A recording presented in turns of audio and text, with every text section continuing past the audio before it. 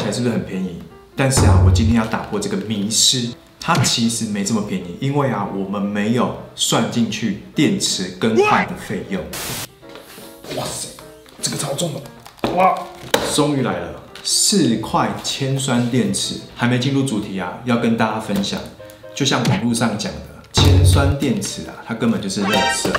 它的优点啊，除了便宜之外啊，它缺点真是一大堆。譬如说不耐用、笨重。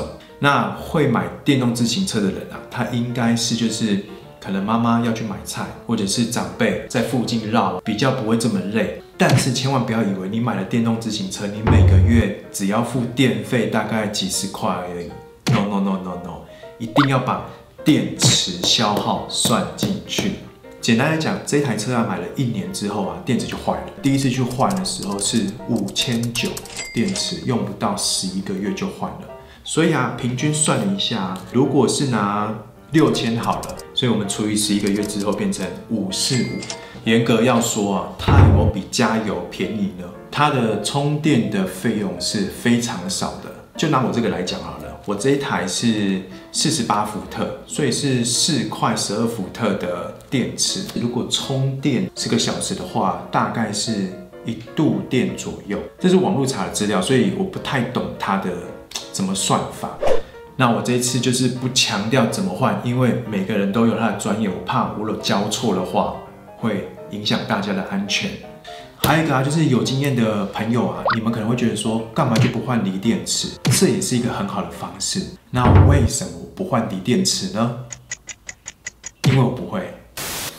好，那电动自行车就在后面，大概被我拆完了。那电池啊，其实也都还收到之后都还没有好好的仔细看一下它里面的样子。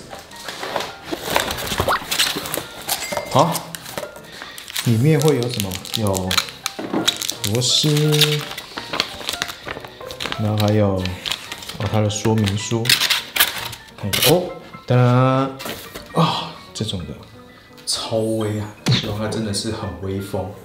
好，给大家看一下，因为。刚刚这一颗就是有拔起来的，给大家看过嘛？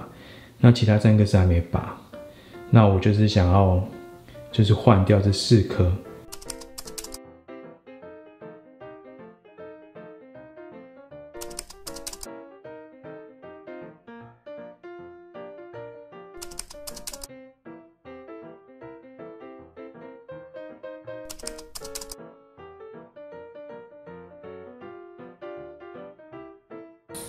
好，那就把坐垫装回去。